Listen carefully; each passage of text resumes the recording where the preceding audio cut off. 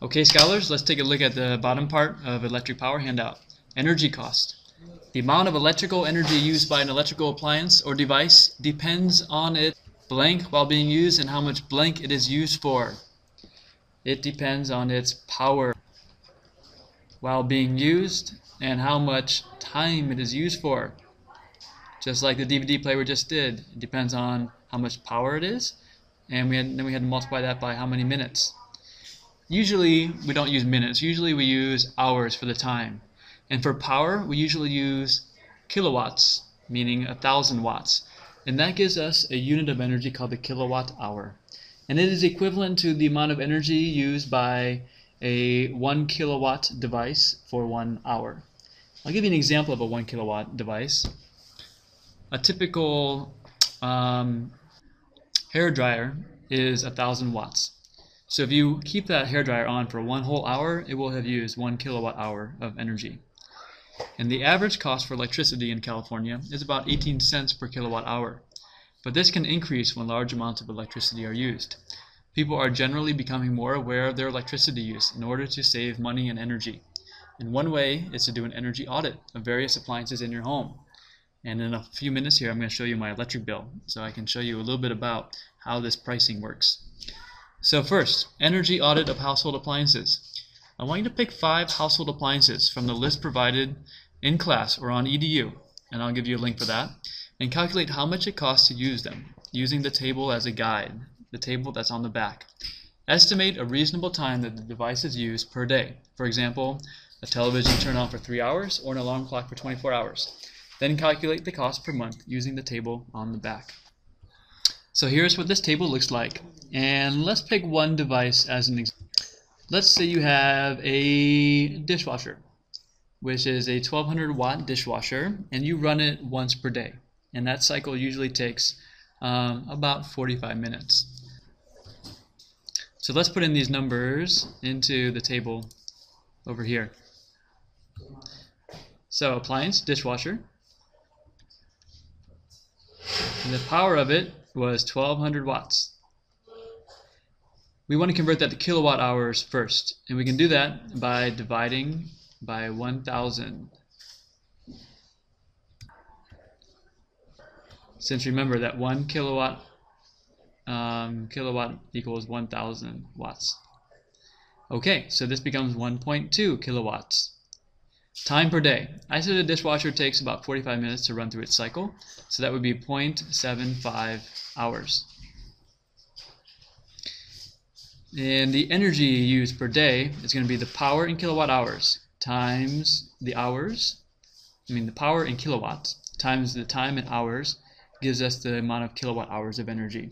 So what is 1.2 times 0.7? We get 0.90 kilowatt hours times 18 cents per kilowatt hour. So just show real clear here, we multiply these numbers together and now we're going to take this number and multiply it times 18 cents to get the cost per day. So this means $0.16 or 16 cents per day. What if we run this every day of the month? So we can take this, we can multiply times 30 days per month. And what do we get? 4.86 $4.86 that it costs us to run that. So now you see this example. I'd like you to pick at least three other appliances from the table that I gave you the link for and calculate how much does it cost to use per day, how much does it cost to use per month. And you can use the same value here of 18 cents per kilowatt hour for each of them. But as you'll see from my electric bill, sometimes you end up paying much more than 18 cents per kilowatt hour. And after you do the table, I'd like you to answer these three questions uh, underneath using complete sentences. Okay, check it out. This is my electric bill. I'm logged into my Southern California Edison account, and I have a smart meter installed in my home. So I have lots of information about my electric energy usage. I'm going to click on the usage tab right here. And it's going to show me some some uh, trends here as it finishes loading up. Okay, this is my energy use yesterday. So from midnight until midnight last night, where did I use the most, when did I use the most energy? You can see that beginning at 5 in the morning when I was up and getting ready for work, I was, during that hour I used about 3 kilowatt hours. And then at 7 o'clock and 8 o'clock, the rest of my family got up and was getting ready for school, so they were using about 5 kilowatt hours during each of those months. Then we left the house, didn't use hardly any energy. Then we came back home, starting to use energy again. So this is very, um, it's very instructive about how we use energy throughout the day. I can also click on the monthly trend. Actually, we'll take a look at um, my, my daily trend.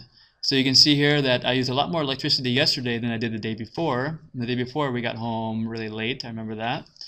You can also see weekends are in blue. And um, not too much difference with the weekends, but maybe your trends will be different. Um, so there's lots of things that we can see here, uh, lots of information we can get from it. Now, uh, we can also take a look at the monthly trend from month to month. So I'm going to click on uh, monthly trend at the top.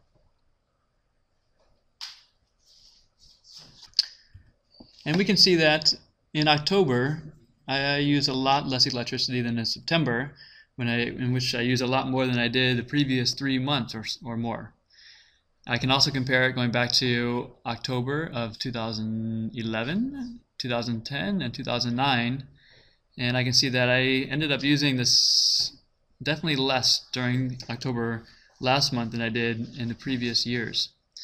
Well, maybe not. It's about the same with October 2012, but that's definitely less than 2011 and 2010. So it helps me to analyze my energy usage. And from that, I can begin to make some changes about how I use certain appliances, how I leave my lights turned on or off, um, how I'm using the dishwasher maybe versus washing by hand, changes like that. So I can also go over and click on my account. And if I scroll down, I can take a look at build usage. So once I'm on my account, I can go over to projected next bill, and I can see how my energy use compares to um, to last month. Or actually, I set um, I set a goal that I want to spend no more than $160 per month. And right now, if I continue using electricity at this rate for the rest of my billing period for this month, I'll end up going $26 over my spending goal. If I click on View Recent Usage, oh no, actually, if I click on How is this calculated, you'll be able to see how much I'm paying per kilowatt hour. So the first tier here, this is the first amount of electricity that you're using during a month, and they bill you only 13 cents per kilowatt hour. When you keep using electricity, you go into tier 2, which is more expensive, and now right now, for this month, I'm in tier 3. I'm paying 26 cents per kilowatt hour. And it looks like I'm pretty close to going into tier 4, at which point I'll begin to pay 20 cent, 29 cents for every kilowatt hour of energy I use. So they really start to ding you for using excessive amounts of electricity. It's very difficult to stay in tier 1. You would have to be a real energy miser. Um, but it's doable to stay in tier 2 and tier 3. Now in my case, in my home, everything I use is run off of electricity. Whereas most of your homes have natural gas. Maybe you have a gas stove, maybe you have a gas water heater, maybe a gas dryer. But in my house, I use electricity for all those things. So I would expect that my energy is going to be um, pretty high. So what I would like for you to do to finish off the electric power handout is to try to get a copy of your electric bill and analyze it. Maybe you have a paper copy of it, or maybe you can go online and you, your parents can log into their account and you can take a look at some of your data.